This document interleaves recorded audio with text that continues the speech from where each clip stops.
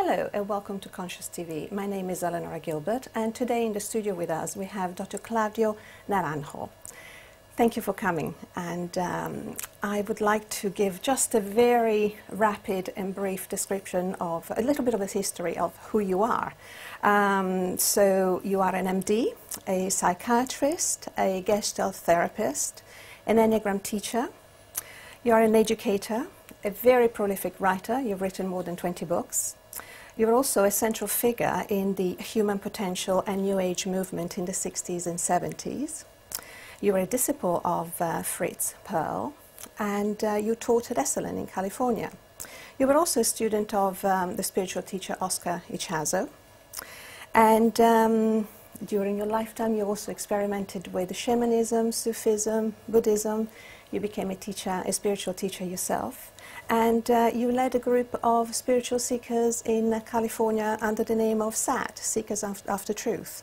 But most of all, you know, from my personal and direct experience of you, is that you really are a man dedicated to the uh, spiritual and spiritual development and evolution of humankind, which I know it's it's it's a lot, but mm -hmm. um, there you are. So yes, yes, that describes me. Um, particularly during the recent years, I feel I'm working more intending to my work to change society than people individually. Now, when we talked um, yesterday, just initially, you mentioned that uh, society, as we know it, is in a really bad state. Mm. Could you say more a little uh, about that? Why you make such a statement? Uh, why this something smells rotten in the land of Denmark. Now that Hamlet is playing in London. Right. um, well, uh, we don't have a sustainable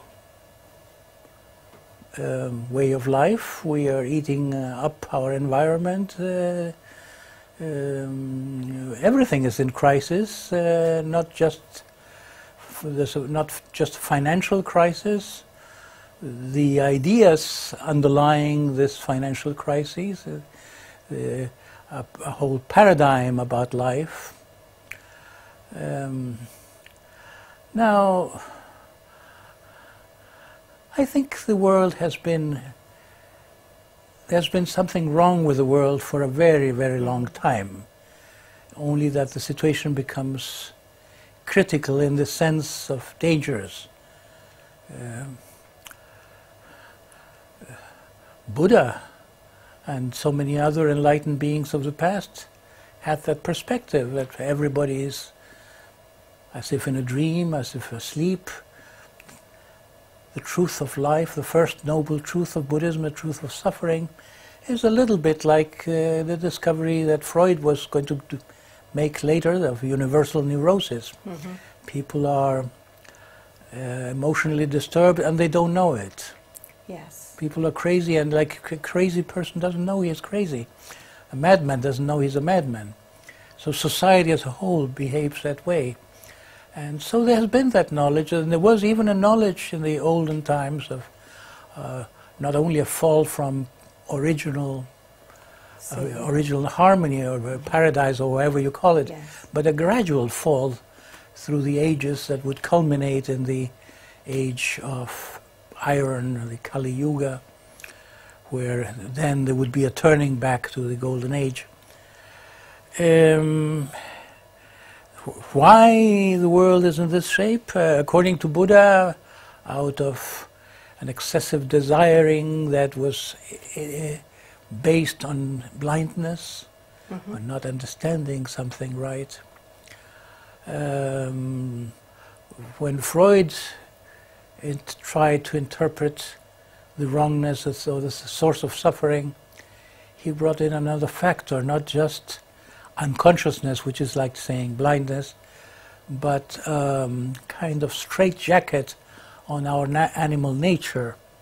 Right. Um, as if civilization is a police system to make us good and not bad, as if we need to be policed because we might be bad. That's has been called Freud's pessimism. Right. Yes. And uh, I say that uh, in addition to seeing to the to the truth of ignorance and the undeniable truth of of um, conflict between what is natural and what and the forces of culture, the civilization, I say that we should look at the patriarchal nature of civilization. Civilization is a problem from the very beginning, 6,000 years ago, more or less. Uh, what happened was that there was a shift of power, and uh, the men uh, took over uh, not only power but took possession of women and children. The institution of paterfamilias is one of the man owns the wife as a slave owner owns yes. slaves. And the ownership uh, is a dehumanizing uh, influence.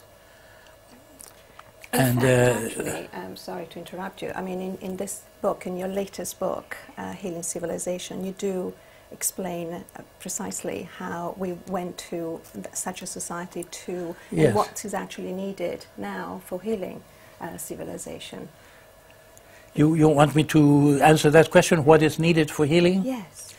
Yes, if it's true that the problem is patriarchy, or uh, I'd like to say it, is that the core problem is the patriarchal mind, a kind of mind in which, I, well, let me make a parenthesis to say we have three brains now, neurobiology points out, the reptilian or instinctual brain, which is like the child within, beyond culture.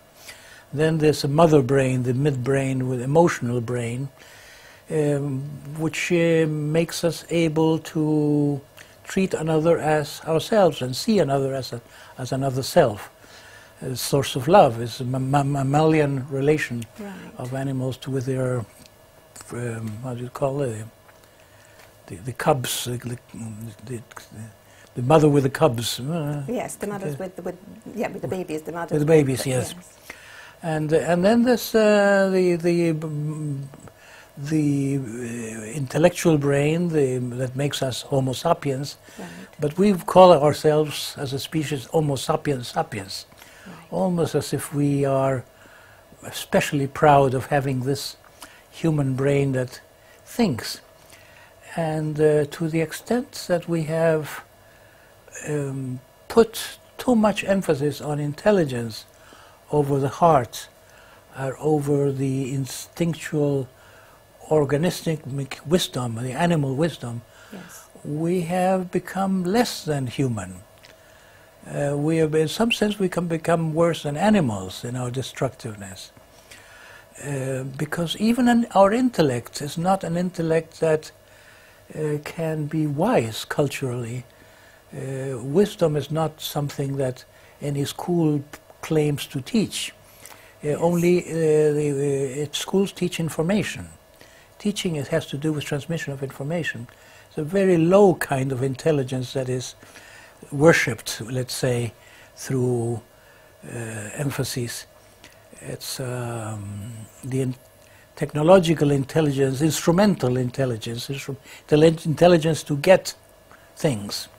So uh, we have, as a species, um, not done very well in uh, with patriarchy. The patriarchy, the emphasis of the father brain. The intellectual brain is like the father who commands inside our inner family.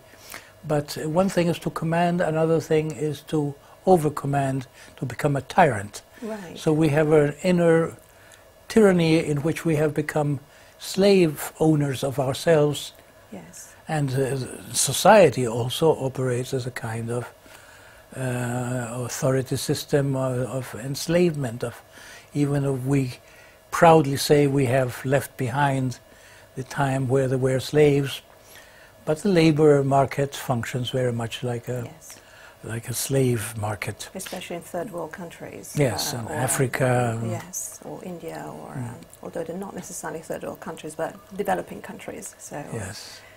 So there's still so, that kind of patriarchal so, uh, so I say that the patriarchal mind is a mind where the three brains don't operate as an integrated system, but in which the inner father is a tyrant, the mother is just as subordinate uh, mm-hmm. as women have been in, since the days of Eve, where she, Eve is a culprit, and therefore she must serve Adam. And, uh, and the third party being the snake, right. uh, this, the child, the inner child, uh, the reptilian brain, the, right. its nature the within us. It's, uh, civilization goes against nature and right. desires and doesn't trust spontaneity, doesn't trust, like animals, trust their own uh, appetites. And uh, their appetites have a wisdom. So we have pretended to try to live beyond the rule of nature and squished nature within us and squished the inner child that has its own preferences.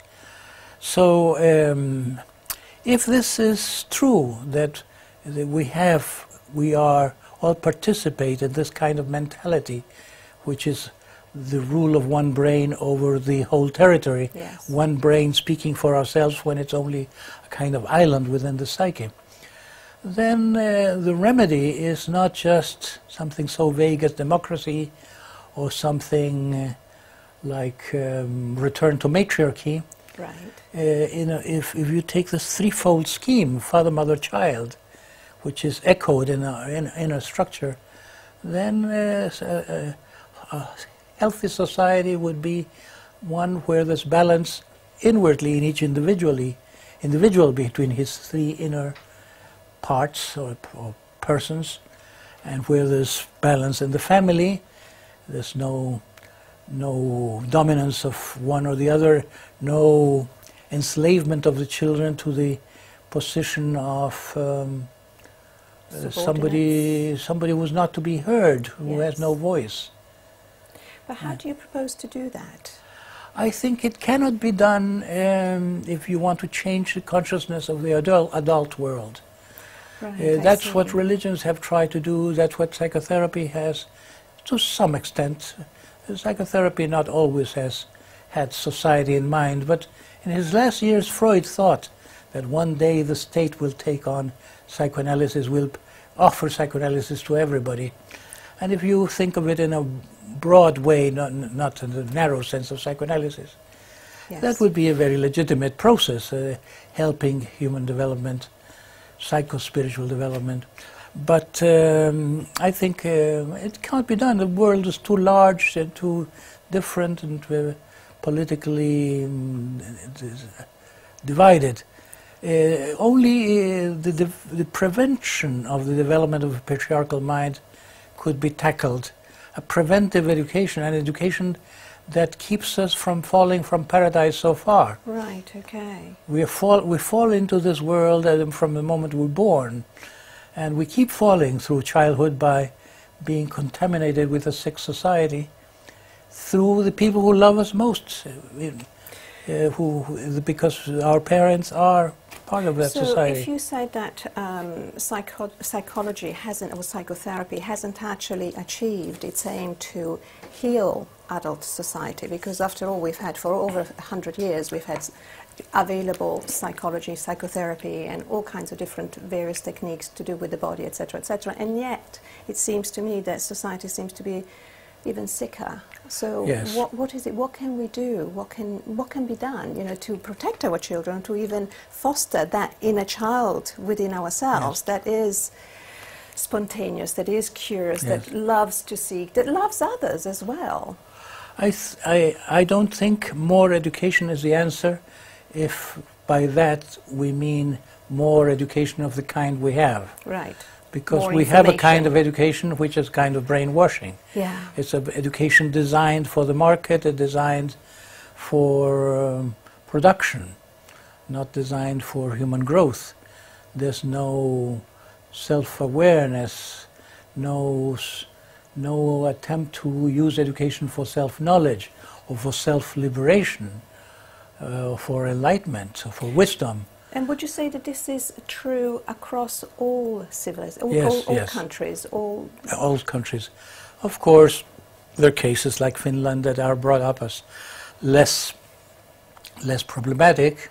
Right. Uh, but um, the, as some sociologists have said, so the aim of uh, the aim of education is to reproduce society, to make another generation like ourselves. it's not been questioned that right. we ourselves are the problem. We carry, we carry the infection. Yes. We carry the patriarchal mind.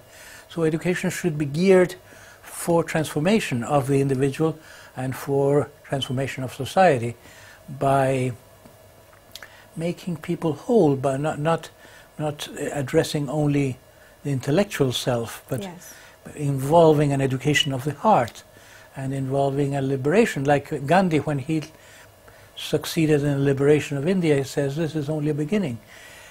Liberation should be now the task of education for every yes. individual.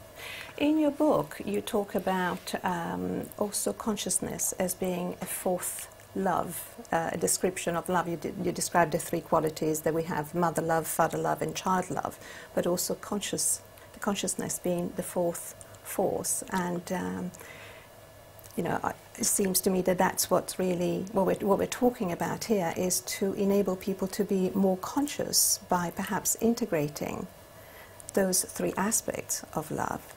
I, was, I wonder if you could say a little bit more about that. Yes.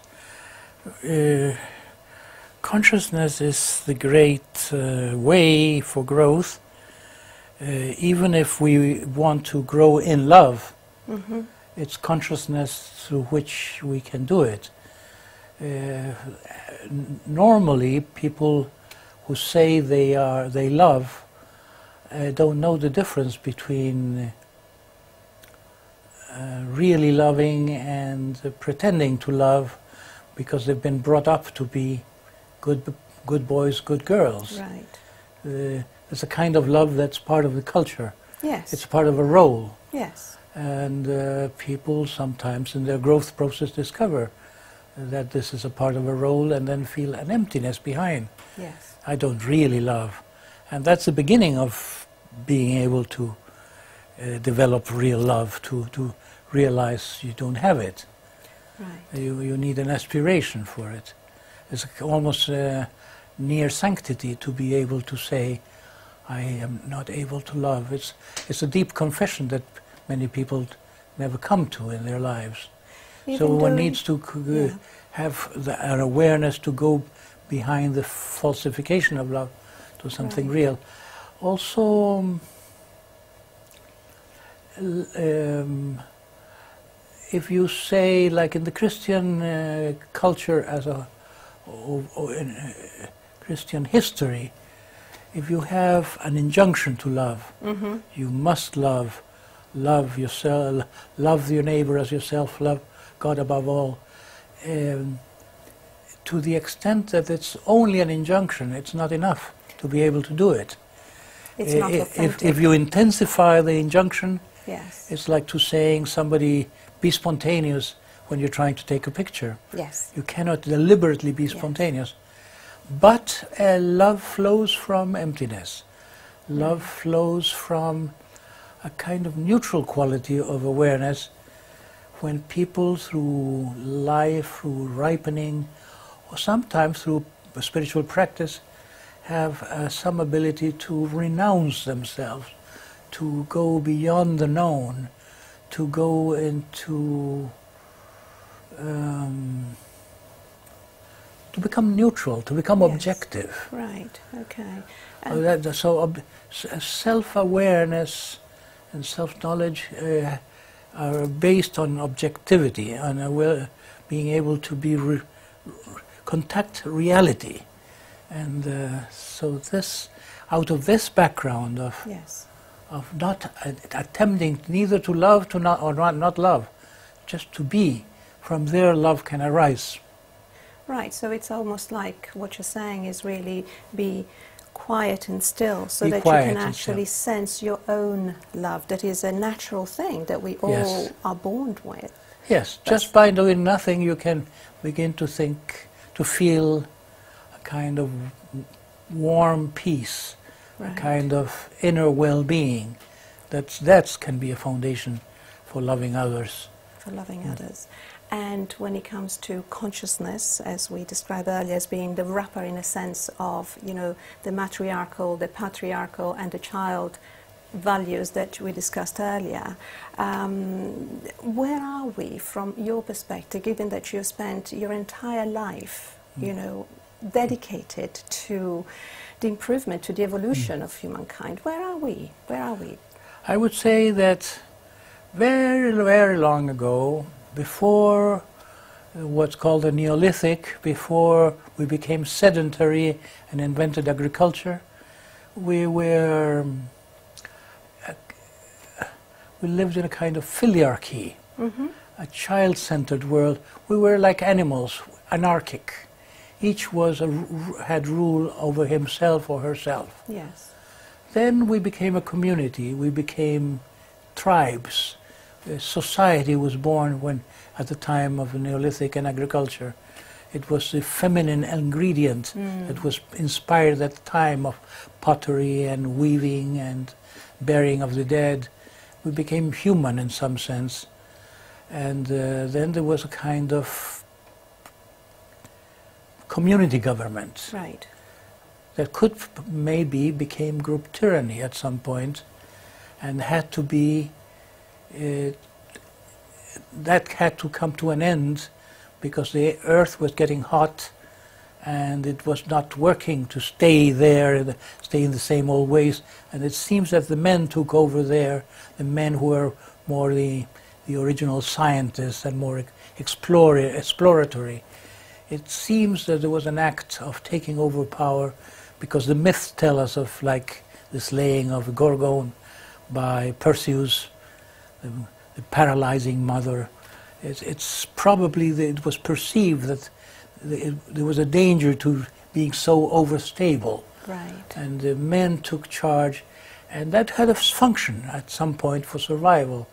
But we are now stuck in the obsoleteness of patriarchy for long. Yes. And we've come into a time when uh, this obsoleteness uh, is what we call a crisis. Yes. It's a, it's a crisis of our old habits. That It, it worked to be conquering for some time when there was more time, more place to, places to conquer. Uh, there were, it, it was okay to spit in the ocean, as ocean can accommodate a lot of garbage. Yes. But now can't there is not no over there we can throw a garbage into. That's right. So we need a new a new ethic and a new way of li- life. Where are we? Uh, We are uh, we're in the times of the agony of patriarchy. The when the, you have a system where that is threatened, uh, it's uh, the it's as if the disease intensifies. Yes. There's some military dictatorships in South America uh, where uh, very much a reaction to the crisis, feeling we're losing control. Yes. Particularly after the New Age, after the 60s, when the youth voiced the uh, awareness, the popular awareness that something's wrong with the system, something's wrong with the world.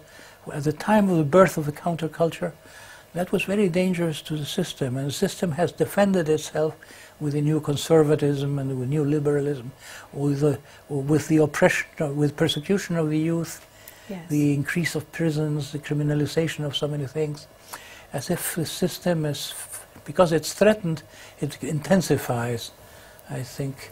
But we, I don't think we can go much further. We, we not, cannot. Uh, uh, it's like we are like a book, a ship that's sinking, Right.